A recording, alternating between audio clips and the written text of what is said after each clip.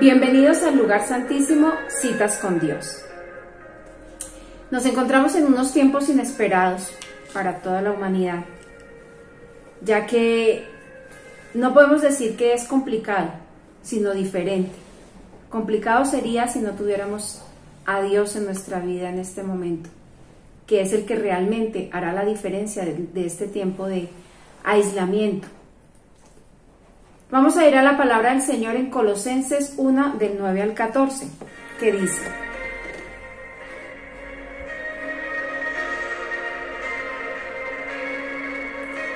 Desde el momento en que supimos todo esto, no hemos dejado de orar por ustedes. Y siempre le pedimos a Dios que puedan conocer su voluntad y que tengan toda la sabiduría y la inteligencia que da el Espíritu Santo. Así podrán vivir de acuerdo con lo que el Señor quiere y Él estará contento con ustedes porque harán toda clase de cosas buenas y sabrán más cómo es Dios. Por el gran poder de Dios, cobrarán nuevas fuerzas y podrán soportar con paciencia todas las dificultades. Así, con gran alegría, darán gracias a Dios el Padre, porque Él nos ha preparado para que recibamos en su reino de luz la herencia que Él ha prometido a su pueblo elegido. Dios nos rescató de la oscuridad en que vivíamos y nos llevó al reino de su amado Hijo, quien por su muerte nos salvó y perdonó nuestros pecados. Amado Dios, quiero colocar estos minutos que tú nos regalas para que seas tú, Espíritu Santo, el que hable a toda aquella persona que pueda ver este video. Este tiempo, Señor, te lo dedicamos a ti y te pedimos, Señor, que primeramente hables a nuestros corazones y que podamos impactar a otros con esta palabra que tú nos has regalado. Muchas veces hemos buscado la solución o en esta circunstancia estamos buscando la solución de forma externa, Hemos mirado cómo actúa el gobierno, hemos mirado cómo están educando a nuestros hijos de manera virtual los colegios, hemos visto eh, también qué ha hecho la iglesia frente a esta situación, nuestra familia, la sociedad, el mundo entero. Pero este es el momento que Dios ha permitido que pasemos para mirarnos a nosotros mismos. No podríamos cambiar absolutamente nada de fuera si no cambiamos primeramente nuestro interior, nuestra forma de ver la vida, nuestra forma de pensar, nuestra forma de actuar, de hablar, nuestra forma de ser. Y todo eso lo lograremos solamente con la ayuda del Señor Jesucristo. Vamos primeramente a la palabra del Señor. Lo primero que debemos hacer es vernos a través del Señor. Y el Salmo 139, entre los versículos 23 al 24, dice, Dios mío, mira en el fondo de mi corazón y pon a prueba mis pensamientos. Dime si mi conducta no te agrada y enséñame a vivir como quieres que yo viva. Realmente tenemos que mirar a nuestro interior. Pero nosotros somos humanos y muchas veces no vemos nuestro propio interior. Por eso debemos recurrir al que todo lo ve, al que todo lo sabe, al que todo lo puede, a nuestro hacedor, a nuestro creador, aquel que nos hizo y que desde antes de la fundación del mundo tenía buenas obras preparadas para que nosotros hiciésemos. Viendo otras versiones, eh, veo que en la parte donde decía, y pon a prueba mis pensamientos, en otras versiones dice, pruébame, y en otras dice, examíname. Y también vemos como cuando dice, enséñame a vivir como quieres que yo viva, el Señor dice, guíame en el camino de la vida eterna. En la parte donde dice, si mi conducta no te agrada, veo en otras eh, versiones que hemos buscado de la Biblia, ve si hay camino de perversidad o cualquier cosa que de mí te ofenda. La única manera realmente de examinarnos es a la luz de Dios. Nosotros somos como cuando uno va conduciendo un vehículo, en el espejo retrovisor tenemos un punto negro, un punto ciego, donde por más que estemos observando no vemos otros carros que están en nuestro entorno. Así somos los seres humanos. De pronto actuamos, hacemos, decimos cosas que nosotros mismos no nos damos cuenta o no nos queremos dar cuenta. Por eso necesitamos de la luz del Señor. Y luego nos vemos a la luz de la palabra y tenemos que ir a ella. Y nos vamos a Hebreos 4, de las 12 al 13, que dice, pues la palabra de Dios es viva y poderosa, es más cortante que cualquier espada de dos filos, penetra entre el alma y el espíritu, entre la articulación y la médula del hueso. Deja al descubierto nuestros pensamientos y deseos más íntimos. No hay nada en toda la creación que esté oculto a Dios. Todo está desnudo y expuesto ante sus ojos, y es a Él al que rendiremos cuentas. El Señor en su palabra nos dice que es tan, tan poderosa que es una espada de doble filo que penetra hasta lo más profundo, discierne nuestros pensamientos. A mí me causaba sensación el tema de que entraba hasta las articulaciones y la médula del hueso. Y me voy a señor Google y él nos cuenta que la médula es ese tejido biológico flexible dentro del hueso y es donde se ayuda a la producción de los leucocitos y de los glóbulos para el sistema inmune. Y nos muestra que la articulación es ese punto de unión de los huesos.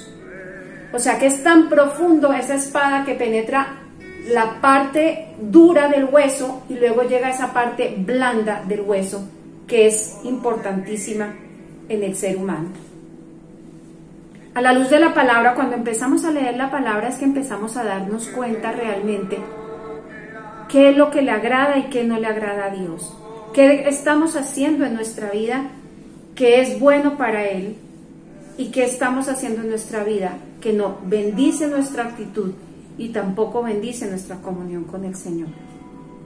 Esta reflexión básicamente es porque en este tiempo, en lugar de querer cambiar las circunstancias, las naciones, los políticos y hablar de eso, hagamos una inflexión, interioricemos nuestra, nuestra vida a la luz de la palabra y empecemos a hacer un cambio real, profundo, radical de lo que hasta ahora hemos sido en la vida con Dios. Y si alguno de ustedes no ha tenido la oportunidad de tener ese encuentro maravilloso con Dios, que lo pueda tener para que pueda ver su vida modificada, cambiada, mejorada, pero no por las fuerzas del hombre, sino por las fuerzas de Dios.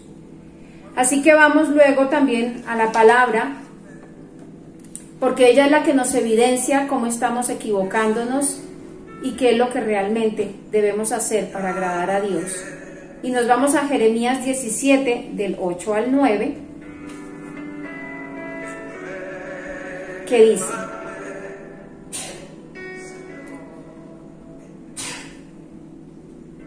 porque será como árbol plantado junto a las aguas que junto a la corriente echará sus raíces y no verá cuando viene el calor, sino que su hoja estará verde y el año de sequía no se fatigará ni dejará de dar fruto. Engañoso es el corazón, más que todas las cosas, y perverso, ¿quién lo conocerá? Y leemos el 10 también que dice, Yo Jehová, que escudriño la mente, que pruebo el corazón, para dar a cada uno según su camino, según el fruto de sus obras. Es tan hermoso ver que aún en momentos donde la gente habla de sequía, de escasez, de pobreza, de enfermedad, el Señor nos dice que si estamos en Él y que si ponemos a prueba nuestro corazón para con Él, Él dará fruto a tiempo. Y nos vamos de nuevo a la palabra del Señor en Proverbios 3, donde dice,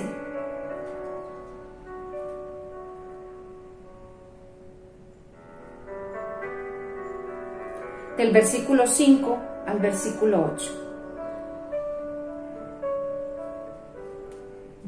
Pon toda tu confianza en Dios y no en lo mucho que sabes. Toma en cuenta a Dios en todas tus acciones y Él te ayudará en todo. No te creas muy sabio. Obedece a Dios y aléjate del mal. Así te mantendrás sano y fuerte. Yo sé que debemos cumplir con las normativas que nos envían, debemos ser obedientes, usar el distanciamiento social, los tapabocas y todo eso, pero nuestra real y verdadera sanidad está en la palabra del Señor. Necesitamos reconocer la autoridad de Dios en nuestra vida. Necesitamos apartarnos de ese antiguo caminar y volver solamente a las sendas del Señor, a la estrecha, ese camino angosto que nos cuesta tanto. Cuando tomamos la decisión de caminar y de cambiar, yo me veo diferente, los demás me ven diferente. Puedo cambiarme a mí, puedo cambiar mi entorno de la guía del Espíritu Santo. Y mi ejemplo, en el caso de nosotros que somos padres, mi ejemplo deberá arrastrar a mis hijos. La fe es algo que los niños aprenden por imitación, pero que cuando ellos crezcan la puedan ejercer por convicción porque realmente han conocido a ese Salvador del cual su familia le hablaba. Debemos orar por tener el carácter y la mente de Cristo, vivir en integridad y ser coherentes con lo que pensamos, pero haciendo eso mismo, no solamente oidores, sino hacedores de la palabra.